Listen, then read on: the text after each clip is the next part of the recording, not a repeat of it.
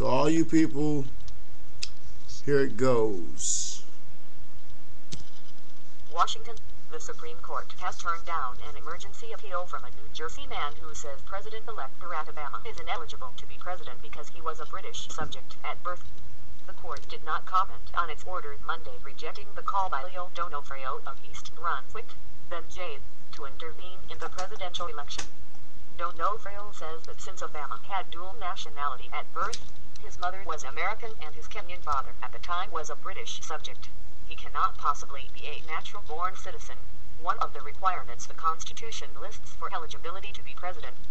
Don't Know Donofrio also contends that two other candidates, Republican John McCain and Socialist Workers candidate Roger Calero, also are not natural-born citizens and thus ineligible to be president. At least one other appeal over Obama's citizenship remains at the court. Philip J. Berg of Lafayette Hill, Pa., argues that Obama was born in Kenyan not Hawaii as Obama says and Hawaii officials have confirmed. Berg says Obama also may be a citizen of Indonesia, where he lived as a boy. Federal courts in Pennsylvania have dismissed Berg's lawsuit.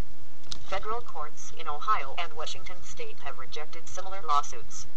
Allegations raised on the internet say the birth certificate, showing that Obama was born in Hawaii on August 4, 1961, is a fake but Hawaii Health Department Director Drive Chiyome Fukino and the state's Registrar of Vital Statistics, Alvin Onaka, say they checked health department records and have determined there's no doubt Obama was born in Hawaii.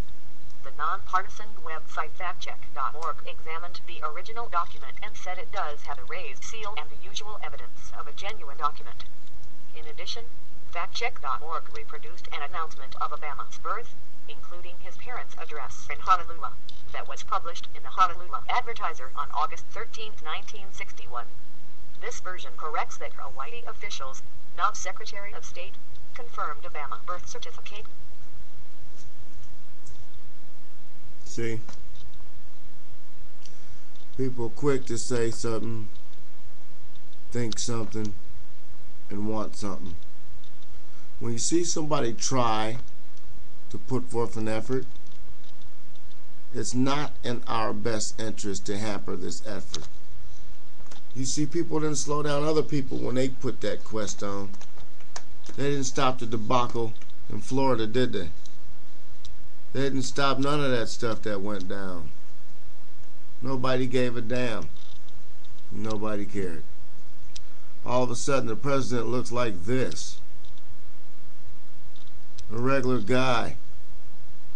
A kid with a dream with an opportunity to make his dream come true. That's all there is. Good luck, man. Good luck.